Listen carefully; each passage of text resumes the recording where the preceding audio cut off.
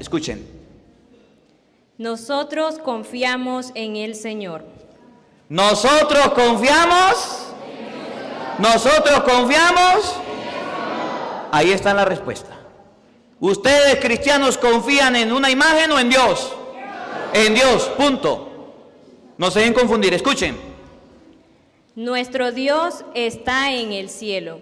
¿Dónde está nuestro Dios? Los protestantes dicen, las imágenes de los católicos son dioses. Están chiflados. Se le aflojó una tuerca. ¿Nuestro Dios está dónde? Pregunto, ¿esta imagen de Santa Rosa es Dios? ¿Sí o no? El que diga que sí está, le patina.